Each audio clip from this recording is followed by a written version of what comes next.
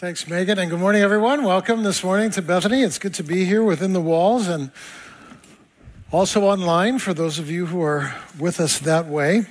We begin a new series called Built for Hope. It's uh, based on the book of First Peter that we'll be uh, walking through together over the next few weeks. Uh, this morning, I'd like to just open our whole series with a moment of prayer, so let's do that together.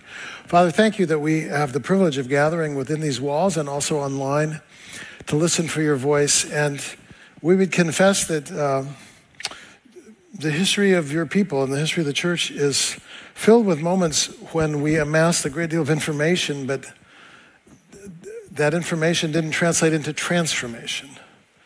And at this moment in history, we come to you expressing our desire uh, to be people of hope in this city and light and justice and generosity and celebration and hospitality. And we believe that uh, you can do that.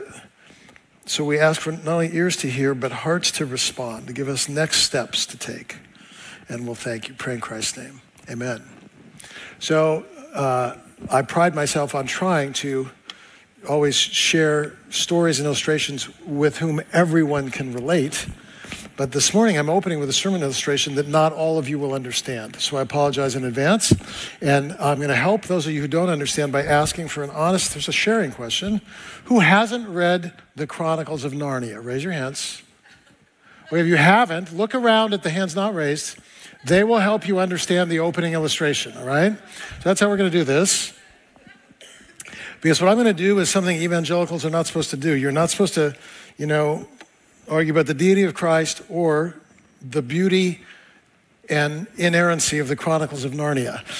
Uh, but I'm going to do the latter of those this morning and, and just say, my, I mean, I love those books and I watched the, the movie version, The Voyage, Voyage of the Dawn Treader, uh, Friday on a flight home from the East Coast, and it's so moving, and I was crying, and my seatmate thought I was ill or something like that.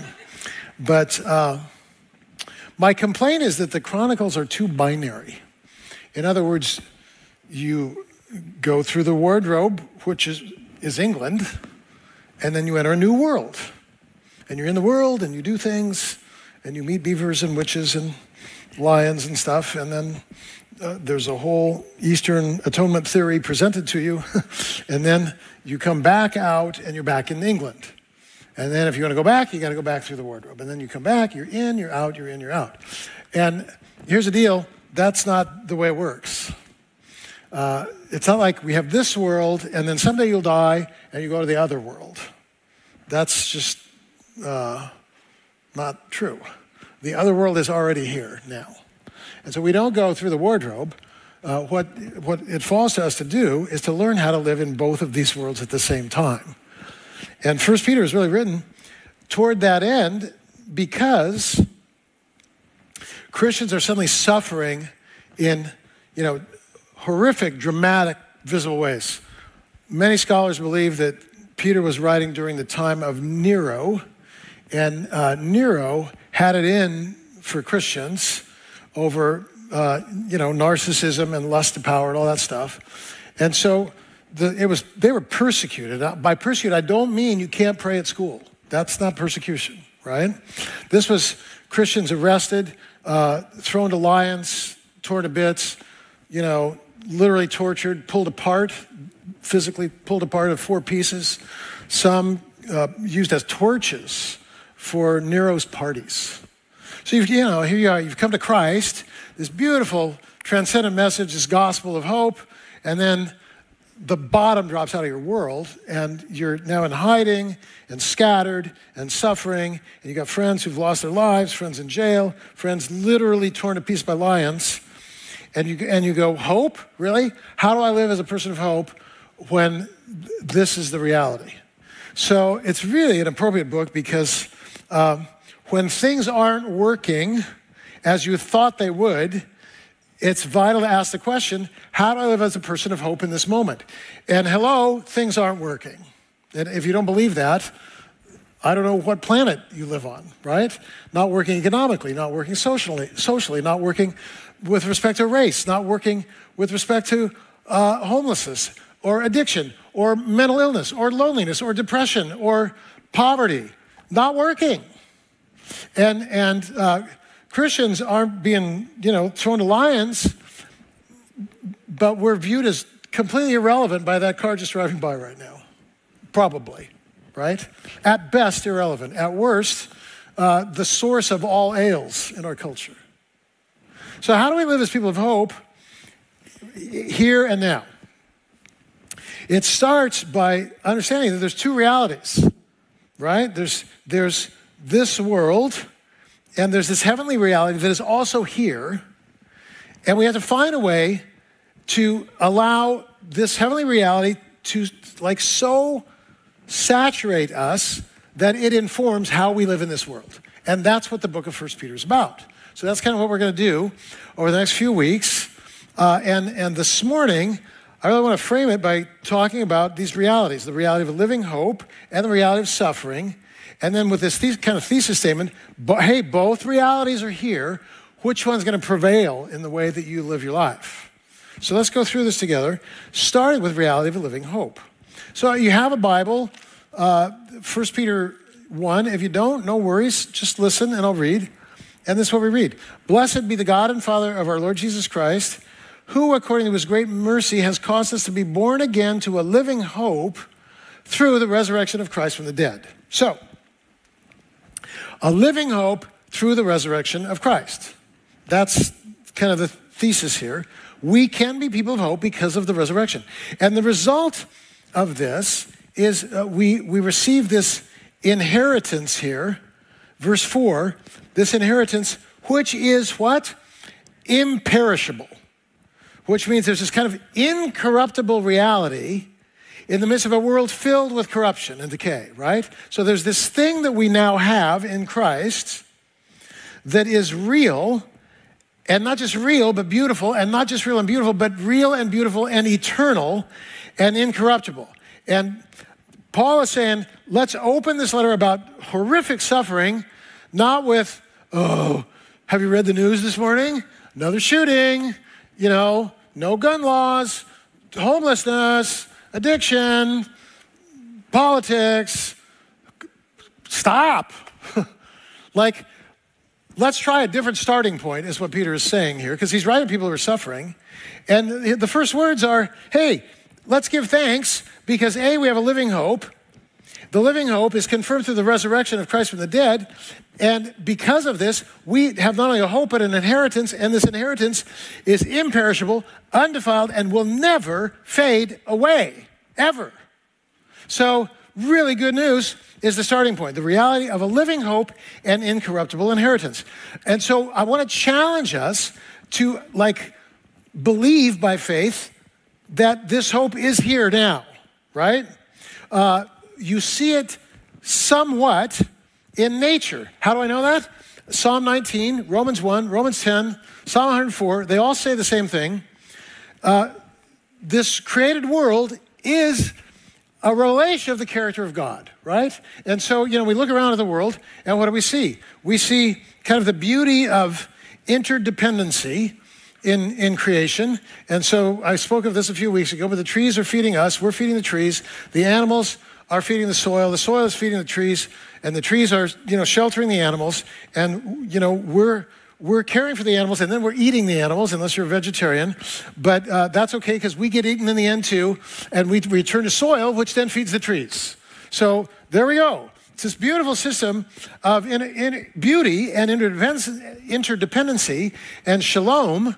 And, and in this, uh, we read, you know, Colossians 1.17, Acts 17.28, Colossians 3.11, that, you know, shot through all of it is the, the sustaining and life imparting glory of Christ. Christ is like all and in all. Colossians 3:11, Acts 17, in him Christ we, Paul speaking to pagans, you know, unsaved, in him we, that's all of us in the room, we live and move and have our being. Everybody in Christ. So just take a, take a moment here and just look at somebody in the room, you know, make eye contact and you go and you're like this. Guess what? Christ is the be- all the beauty of Christ is in you. And by the way, me, and you, and me, and you, and you. So, and then look around outside. Oh, Christ is sustaining all of this. Those trees are, are sustained by Christ. The soil sustained by Christ. It's all Christ. So we can't, if we start there, we're like, okay, all of that has nothing to do with who wins the midterms. None. or or uh, August inflation numbers, or your uh, 401k, that number, which is bad. I'm sorry. So, okay, that's the way it is. But none of those things, or China, or Ukraine, or Putin, or the guy in Hungary, none of it changes these realities. None of it. Christ is sustaining everything. I mean, we have a tree in our backyard because we live in the past that's, we think about 250 years old. So think about 250 years. You know, Revolutionary War, Civil War, uh, the land theft thing that is colonialism, uh, and, and World War I, and Spanish American War, and politics and corruption and trust busting and the invention of the automobile and the warming of the planet and the industrial society and communism, the rise of it, communism, the fall of it, Vietnam. I mean, I could go on and on and on. And the whole time, all the posturing, all the noise, all the fear, all the anxiety, all the loss, all the suffering, all the time. What is that? What is this tree doing? Oh, you know, blessing us. Like by receiving from the from the soil and and receiving from the sun and doing the magic alchemy that creates the sugar that makes the the needles multiply and grow, and, and then exhaling oxygen for your breath and mine, no matter who's in power. This is so hints of this glory that is imperishable, incorruptible, are revealed in nature. And, and they're revealed in those moments in our lives when we, when we see, like the veil is pulled away, and we have moments in our lives when we see that this is a world of, uh, like, there's moments in music, there's moments in art, there's moments in story, there's moments of fellowship, intimacy, good food. And hopefully in that moment you go, we're made for this. And what Peter's saying is, this is here now. And so it falls to us then to see glory. Is there suffering? We'll get to that in a minute. Yes, but the starting point isn't suffering. The starting point is we got to see the victory in Christ, see the new creation we are in Christ, see the glory and image of God. We want to, that's where we begin. And so let's just talk about one of those things at least. Let's make sure that we're seeing the new creation that each of us are in Christ. 2 Corinthians 5:17 says if anyone's in Christ, he's a new creation. And so so there's something in me that is Christ in me and that that Christ in me is perfect. That Christ in me is glorious. Even as it is in Eric, even as it is in you, even as it is in Marilyn here. Uh, there's a Christ in you that delights only in the will of God, that's filled with transcendent beauty and the capacity for, you know, wisdom and generosity and justice and saying the right thing at the right time and shutting up when you should be quiet. Like that's Christ.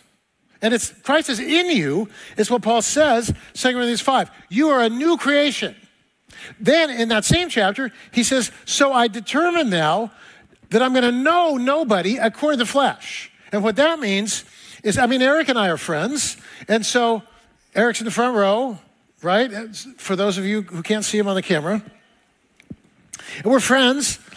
And so we know each other. And I'm sure there's moments when I annoy him, right? Even as there are moments when he annoys me. It's fine. What Paul is saying is our relationship is not defined by his shortcomings or mine. And so, what Paul is trying to get us to see, what does Paul say? Therefore, from now on, I regard none of my friends according to the flesh. That's not what he says. I've determined to know no one according to the flesh. Not only my friends, which is a thing, but my enemies, which is a huge thing, right?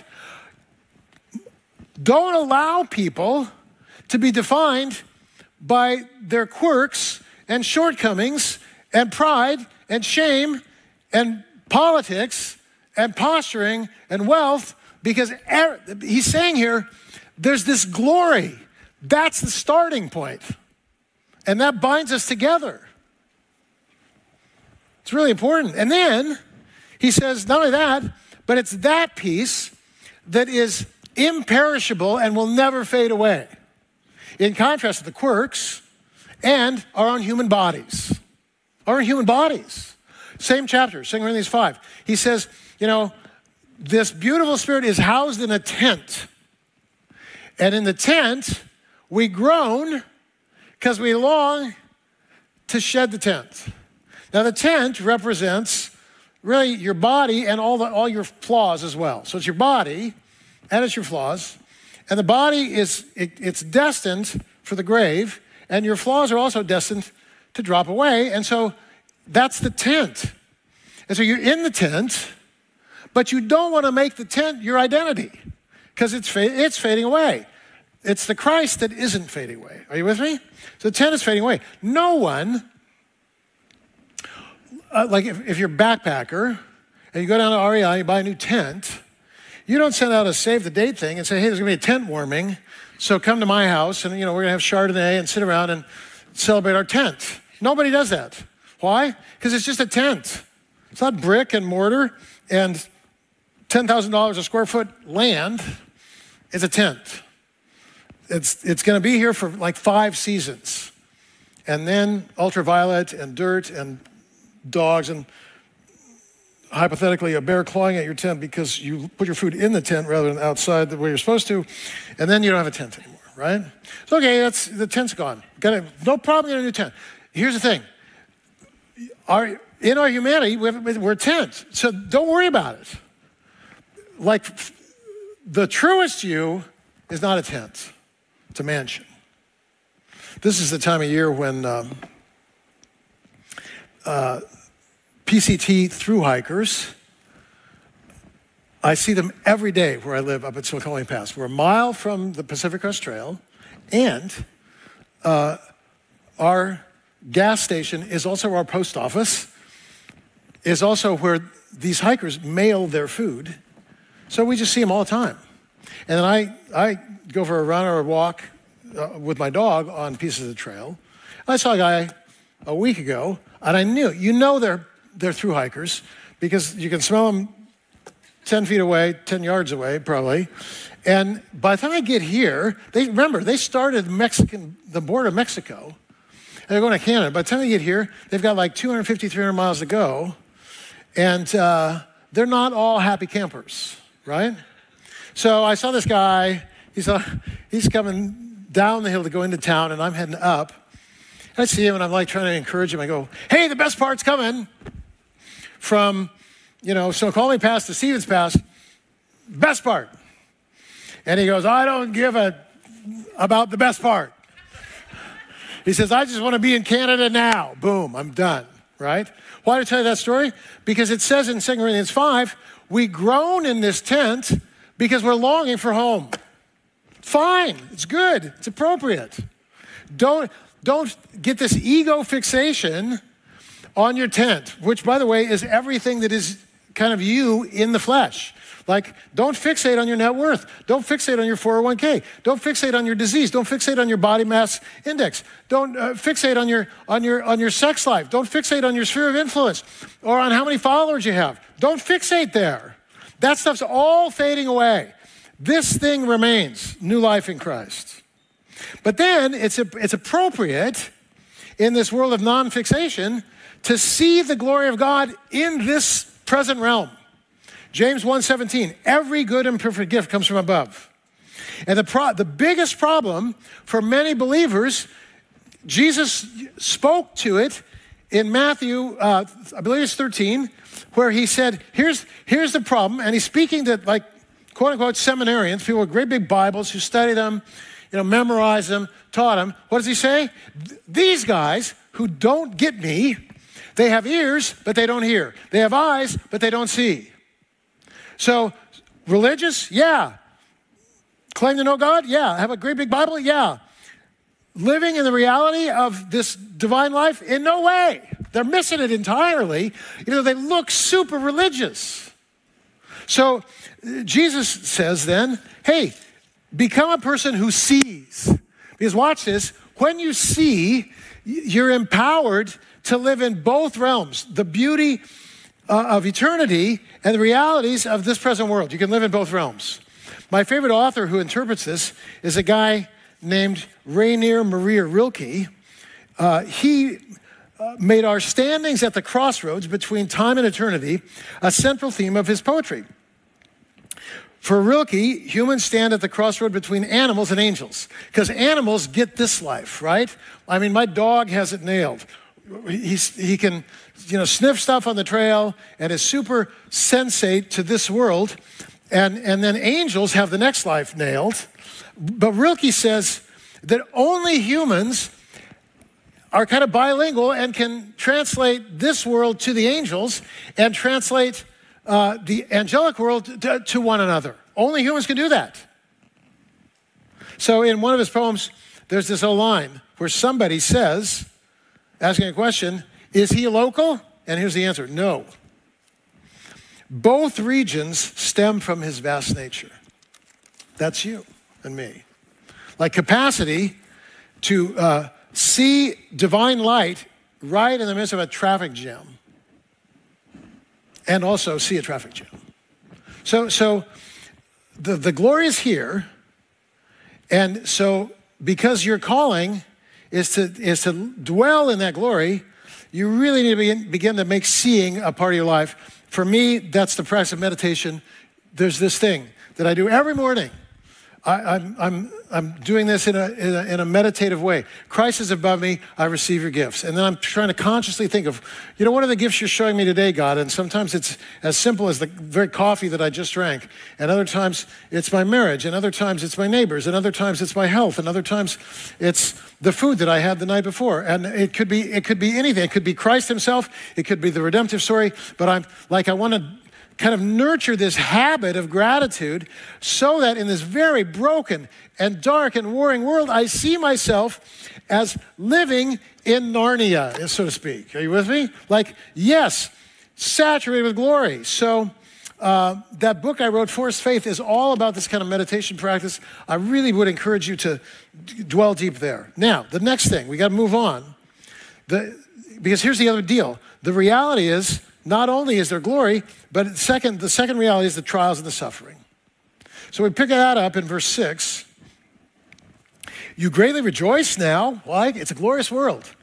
Even though now, for a little while, if necessary, you've been distressed by various trials.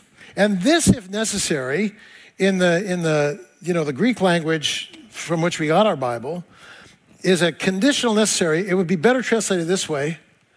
Uh, even though now for a little while, if necessary, and then in parentheses, and it is necessary, you have trials.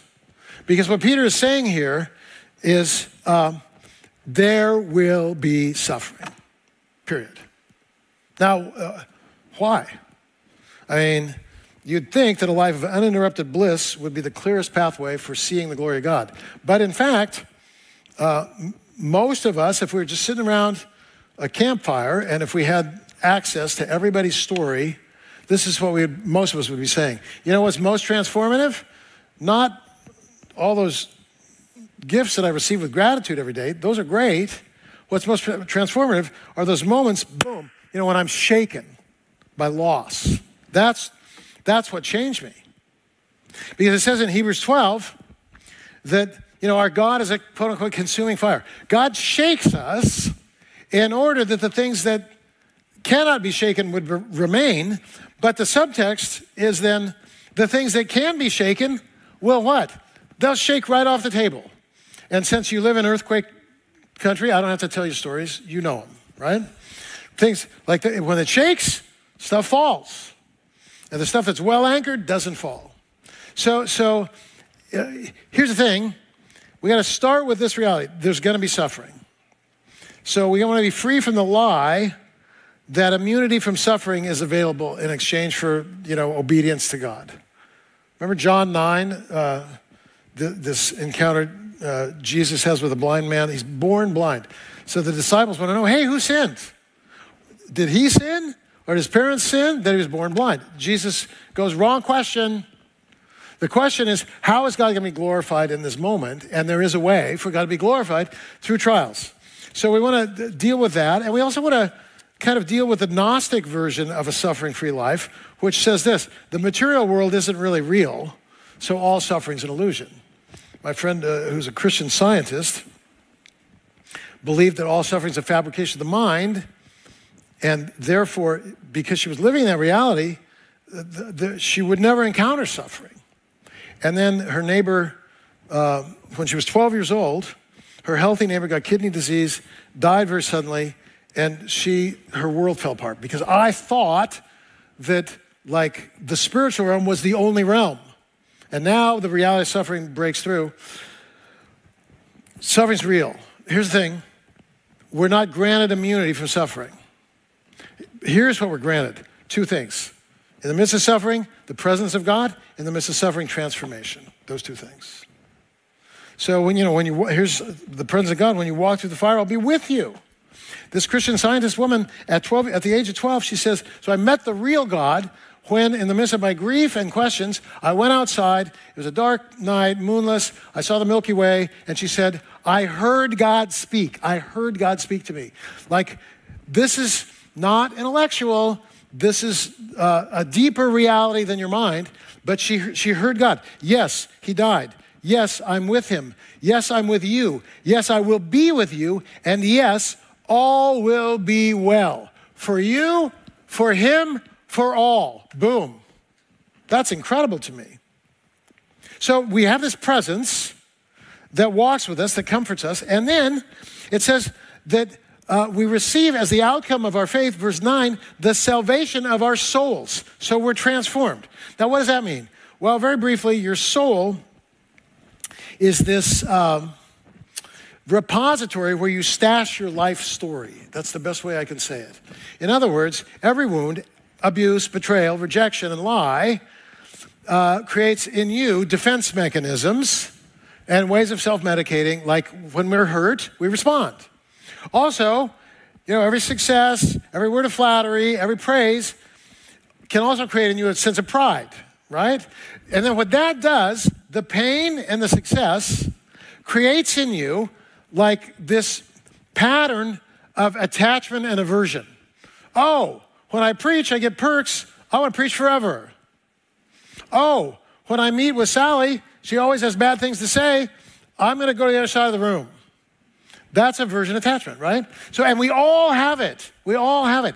And what Peter is saying is when I shake you, that shaking will, will, will empower you to heal from all that stuff that leads to shame and and disengagement and fear and self medicating.